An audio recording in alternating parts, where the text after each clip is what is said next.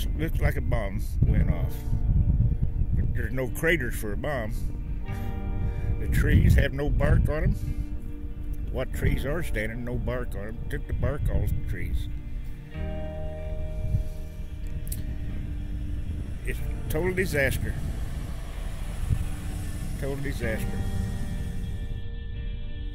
For the 140 some people that was killed, it looks like it should have been a thousand people. It wouldn't have surprised me if a thousand people hadn't been killed in this. It is, it's amazing what what it has done. You see the tornadoes around here before, you might see a few blocks, you know, tore up, and then everything's all right.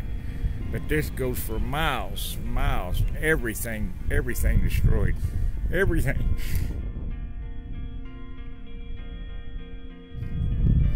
Neighbor here, she's already moved to California with her daughter. And the neighbors across the street, they're going to Nebraska, living up there. They're not even going to try to rebuild. And I don't know about. I know a, one neighbor south of me here. He said he's going to rebuild, but that's all I know about. That's all I've talked to. Yep, I've lived here all my life, and we'll start over again. And hope to God this never happens again.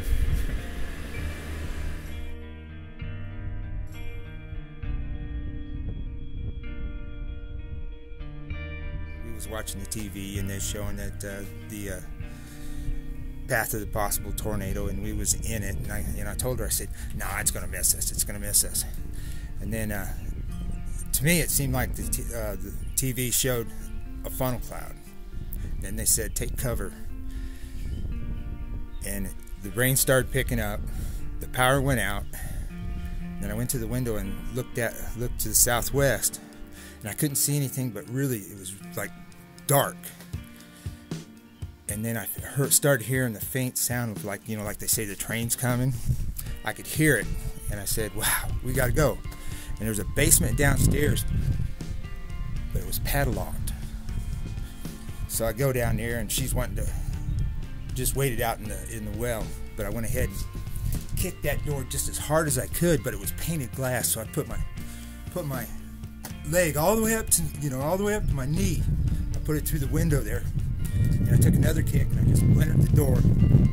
We got in there, and I ran over to the one the Al that lives down in the bottom there. And I ran over there and knocked on his door and said, Al, we gotta go, we gotta go. And I could hear this train starting to get louder and louder. And I ran up these stairs, the, the blue ones there, told the other couple, I said, gotta get in the basement now, now. The wind and everything was, it was really starting to get with it. So I just went ahead and ran to the basement. You know, it's like, I hate to say it, you know, I mean, I warned him. Okay. I got down there. Al was, Al went ahead and wandered back across. And then it just hit. There's, I couldn't tell because I was in the basement on, up against the wall. And uh, then it was over. You know, you, you know, you, you, you hear things blowing and it's like the floor's still on the house. And I go, maybe it's not that bad. I, you know, I can barely come out of that well. And then I seen the uh, garage apartment. And I said, they're gone. And uh, I walked over there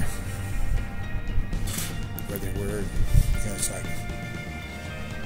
they were just there. You know, they were just there. And I'm kind of looking around and everything. And you know, I'm calling for them. Paula was inside here, kind of walking in a daze. She was outside. And she says, I, I hear him. I hear him over there. And there's this big stucco wall on top of him. And I couldn't quite, you know, you get down there, you could, you know, you, you see that there's somebody in there. And I tried lifting it up, but you know, it's just like 12 foot long, stucco still on it. I couldn't get it lifted up. I think, I think I got it lifted up long, up high enough. This girl, she popped up her head. So I started tearing the wood left, piece by piece, getting the getting the weight off the top of it. And it got lighter, and Paula found somebody to help. So he was able to lift the wall up further, prop it up with, up with a board, and then luckily somebody else came along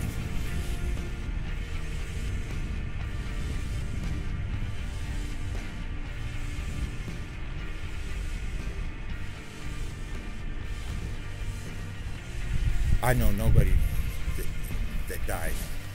When I, when I walked out of here, people was going, you know, they couldn't believe how bad it was.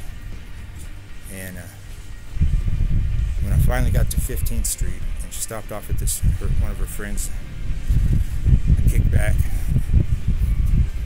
I drank me a beer,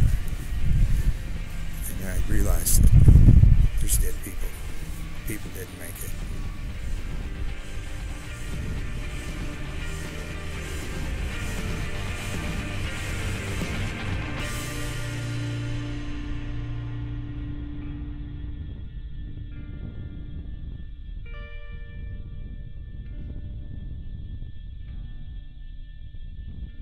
We were excited, you know, first time home buyers, just getting married, just finding a place, you know, thinking about starting a family. And, you know, over the years we've done a little bit of remodeling and there's always been this, you know, this and that that we've been putting off, you know, and then we had the second baby, so we thought we're going to have to add rooms, you know, and my daughter, the last few days, she hasn't seen this. She hasn't been here. She, I want to go home. Where's my house? What happened to my house? She's seen a little bit on TV and a little bit of other parts of town, and she's saying, Is that what happened to my house? It's kind of funny. Her favorite movie is Wizard of Oz. She watches it daily, and we just keep trying to explain it to her that our house went like Dorothy's house went, you know, and it's it's hard to explain to a three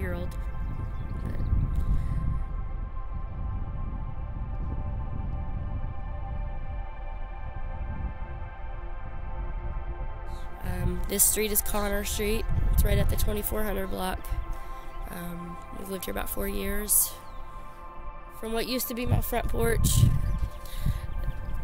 you can now see some walls in the house leaning on each other, and that's about what's left. Um, furniture still in place but destroyed. Um,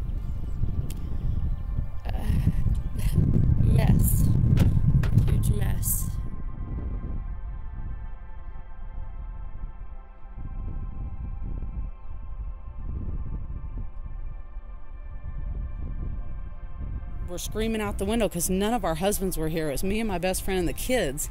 And so finally, her husband, um, her husband, come walking up. He was okay.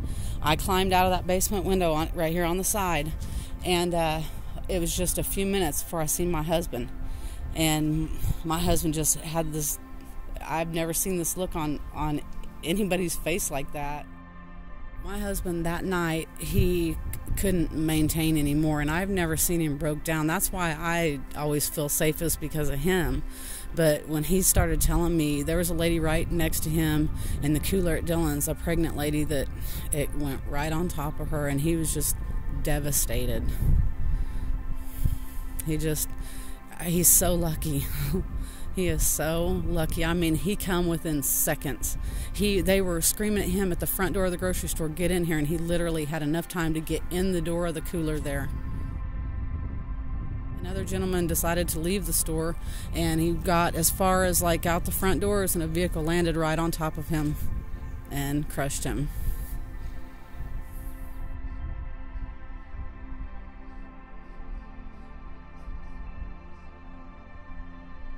Was uh, I was clearing out here and, and digging for uh, stuff of theirs, and I found these uh, the two timbers uh, laying next to each other, and it just seemed fitting. I, I, I put them together and, with uh, Romex wire and, and, built the cross, and I wrapped the American flag around it, and uh, stood it up against the side of the house and strapped it up there, and it just it just kind of seemed like it belonged there.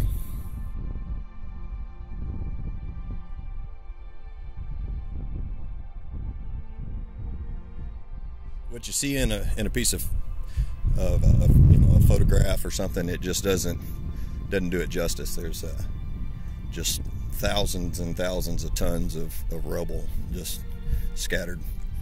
Um, only thing I can compare it to is you know a city being bombed or something. It's just huge.